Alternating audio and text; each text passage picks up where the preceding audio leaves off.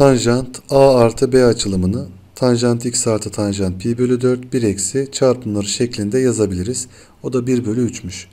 Değişken değiştirelim şimdi. Bu değere a diyecek olursak tanjant pi bölü 4'te 1'dir. Buna göre a artı 1 bölü burası da yine a ve 1 yapacağı için 1 eksi a eşittir 1 bölü 3 oldu. İçler dışlar çarpımı yaparsak 3a artı 3 eşittir 1 eksi a oldu. 4a eşittir buradan eksi 2 olduğu için a değeri yani tanjant x değeri eksi 1 bölü 2 olur. Doğru cevap C seçeneğidir.